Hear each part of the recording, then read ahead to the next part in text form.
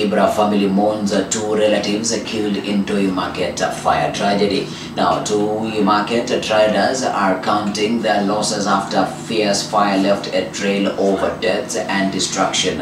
A, a family in Kibra is mourning the death of two relatives in the inferno that destroyed Toy Market. Uh, Late Kevin Ocheng and the late Jared, Janet Abuyu died while trying to rescue properties during the inferno. Here are the full details to the story.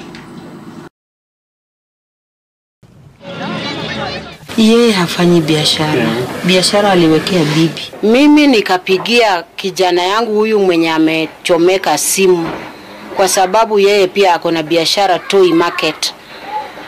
So tukaenda toy, tukaanza kuokoa vitu. Kaambia huyo kijana ajaribu kutoa hizo mabati zenye zilikuwa hapo mbele ya kibanda.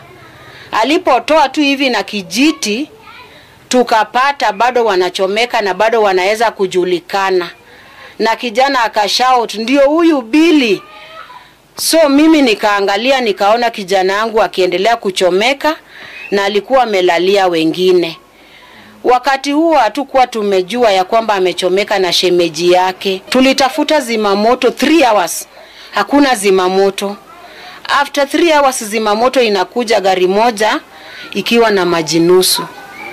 Wanasema ya kwamba magari mengine hayakulala na maji. Zimamoto ingefika tu mapema, ndugu yangu angeungua hapo ndani, Bili angechomeka. I was supposed to join September 10th. Sasa kuna mwenye atalipa your school fees Jubilee. Have a plan.